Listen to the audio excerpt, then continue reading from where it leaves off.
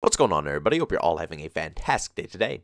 Now, for anybody who goes ahead and celebrates Christmas, or even if you don't celebrate Christmas, regardless, you get a day off of work or even a day off of school or something of that sort. I hope you guys had an amazing day yesterday. Now, for those who don't know, I record all my videos the day before. So, this commentary right here technically, while I'm recording it, it is still Christmas. And I gotta say, my day was really good. I got to relax, kick back with some family and friends. I live streamed for a very short time. It was nothing crazy. But we will be starting up the regular live streams today, meaning the next day after Christmas, of course. Like I said, it's, it's so confusing for me personally doing these commentaries and trying to, you know, make sure my times are correct. It's, it's really strange. But I find a way to do it at least every once in a while. But I will be picking up my live streams once again today. Regular times, regular schedule, regular and all that good stuff. If you guys want to be a part of that, the Twitch link to that stuff is down in the description. And also, I want to stray away from the typical gameplays that I've been showing on this channel. I have not showed you guys Splitgate in ages, and I thought, eh, why not now compared to never, right? But ladies and gentlemen, today we're going to be talking about the future of the Call of Duty franchise, and honestly, it is not looking like a very bright future at all. Now, I know I have not been discussing anything going on with Call of Duty Vanguard in a minute, but it's a reason that I don't do so, and that's because I just simply don't play the game. If you've been watching my channel for a long time, you've heard me say this in the past. If I don't play something, I can't talk about it. I know other people can, and I know it's not impossible to do, but it's just something that's really annoying about myself that I just can't push myself to do, you know?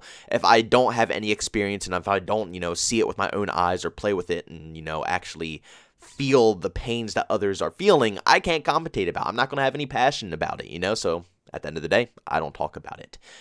But what I'm going to be discussing today, I don't think I need any playtime in Call of Duty to tell you what's going to be happening, sadly, in the future for Call of Duty. Now, for those of you who are new to the whole Call of Duty scene, or if you just haven't played Call of Duty in a long time, Warzone has pretty much completely taken over ever since Modern Warfare 2019 has come out, every Call of Duty game hasn't really felt the same. And what I mean by this is that every 6v6 experience is basically it's half-assed. That's basically the more of the story. Every 6v6 game nowadays is half-assed. It's a cash grab to go towards Warzone. They introduce new guns, they introduce new skins, they introduce new grinds in these brand new games. But the games are boring. You're going to get tired of them in 10 minutes. But if you want that content in Warzone, their more popular game mode, you have to purchase the $60 product and Activision knows this. They know people are going to go out of their way to purchase that game just to get, you know, in-game content for Warzone. And guess what? Because of that, they refuse to make sure their games are released complete and functional. I've been saying this for a long time, and it's also a saying that I go by as well. Don't put all your eggs in one basket. It's super simple, but seriously, it is it is probably one of the strongest meanings out there because it's true. That is what Call of Duty is doing right at this moment. They are putting all of their eggs in one basket. That is Call of Duty Warzone. They are just completely destroying their 6v6 side of things with the expectations that if Warzone flops, the 6v6 side will still be there. The player base who, you know, enjoyed the old school Call of Duty style will still be there and enjoying it. When in reality, they are pushing their player base further and further away every single title that is released. And of course, their player base is growing because Warzone is so outstanding. It brings in an insane amount of players and it also brings in a lot of money.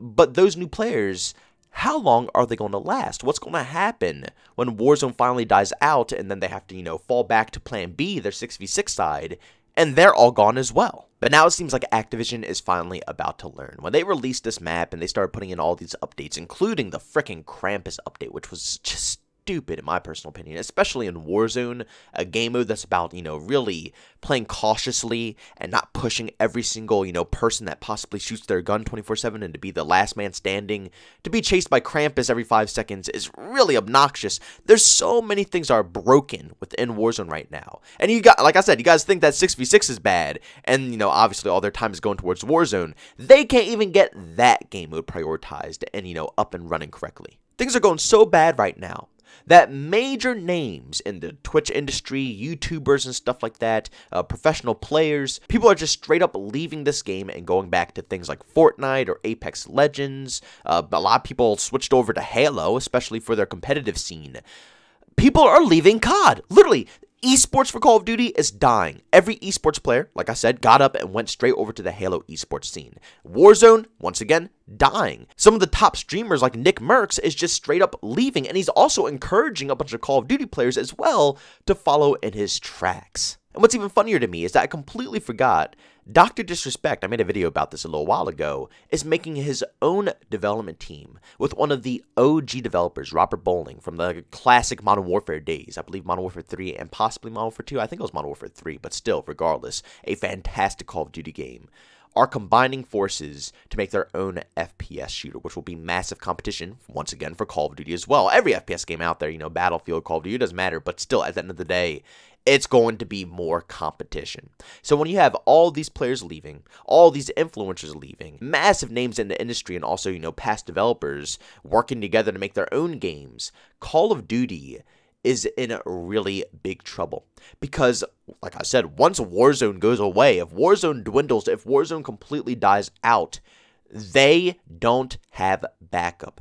All they have done is neglect the multiplayer side of things for years now. Neglect what everybody has been asking for and begging for. Now, Sledgehammer Games has probably listened to the community the best, I gotta be honest. Modern Warfare and Black Ops Cold War, it was a pretty rough and bumpy ride trying to get the correct fixes to those titles. But Sledgehammer Games, pretty much everything the community complained about in Modern Warfare 2019 has been resolved. Now, does that make it a fantastic game? No, not by any means, but it does mean that, you know, Sledgehammer is partially listening, I guess, to a certain degree. But even with all those fixes, the game is bugged to death. I can't even play Vanguard. I tried to play on Christmas Day for about, I'll say 30 minutes to an hour. It was horrifying. The packet bursts, the lag, the stutters, the rubber banding. It felt like Battlefield 2042 when it first launched. It was horrifying. And to think Vanguard has been out for a long time now, and these issues still haven't been, you know, talked about. I'm, I'm like I said, I'm planning on making commentary about that as well, but I just had to mention that. Vanguard isn't even that amazing. Where is Activision going to land now? Where is Call of Duty going to thrive? And as a hardcore Call of Duty fan, it really hurts to see the downfall of this franchise. And I know a lot of people are coming into my channel very new and you don't know what games I enjoy the most. A lot of people think I'm hardcore for, you know, Battlefield, which I am. I love Battlefield. Don't get me wrong. Battlefield is one of my favorite FPS games out there. But I've been playing Call of Duty since Call of Duty 2, the big red one. I am a hardcore Call of Duty fanboy. I love this franchise to death. And it's just so depressing to see the direction this game is currently taking. And everybody always tells me, oh, it's just nostalgia. Oh, you're just forgetting what the past is like. But I play these games all the time. It's nothing new. I play Modern Warfare 2. I play Black Ops 2, Black Ops 1, Call of Duty 4, World at War. I play them all. You know, PC servers are constantly active. You can find people 24 7, even lobbies without cheaters. And it's a blast. I can play Call of Duty World at War much, much, much, much, much longer than I could ever play Call of Duty Vanguard for. And World at War has no content, no, you know, attachments, no camos to grind for, nothing. It's bare bone. But just the atmosphere of the game and the passion from the developers who are designing it is enough for me to continuously play it. Trust me, it's not nostalgia. It's the lack of passion these developers have nowadays behind these games because all of these titles, I think Modern Warfare 2019 probably had the most passion behind it. I could see the direction Infinity Ward was trying to take, and even though I didn't enjoy it, I can understand the decisions that they were trying to make for themselves. Everybody else, I can't see it. Black Ops Cold War completely half-assed. I felt no passion. Vanguard, once again, completely half-assed, no passion, but they definitely made up for it with all the content. I think that's their way of, you know, calming everybody down, was release 16 maps and a bunch of weapons and attachments and stuff to grind for. And then, you know, obviously, like I said, they don't care about the rest of it. All of this stuff was added into the game for one reason and one reason only.